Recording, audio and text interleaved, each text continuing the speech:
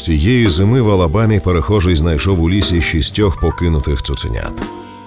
Малюки були хворі, голодні і занедбані, та майже не мали шерсті. Тож ветлікарі навіть не могли визначити їхню породу. Після місяців лікування і купання в спеціальних сумішах хутро у цуциків знову почало відростати. Воно було густе і кучеряве, тож лікарі припустили, що малюки рідкісна суміш гірського собаки та пуделя. Тести ДНК підтвердили, маленькі лисі створіння виявилися 100% цуциками породи Великий Піраней. Такі собаки відрізняються не лише густим хутром, а й величезними розмірами до 80 см заввишки. Зараз малюки здорові, енергійні та схожі на великих пухнастих ведмедів. Для чарівного перетворення потрібно піклування і трішки шампуню.